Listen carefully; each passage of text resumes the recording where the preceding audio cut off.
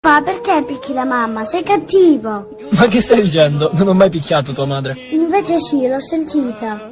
E sentiamo quando. Ieri notte ti diceva, fai piano, mi fai male. No, ma chi capito? Si era solo fatta male, ecco, le stavo curando una ferita. Mm, vabbè, torna e poi verrò a controllarvi.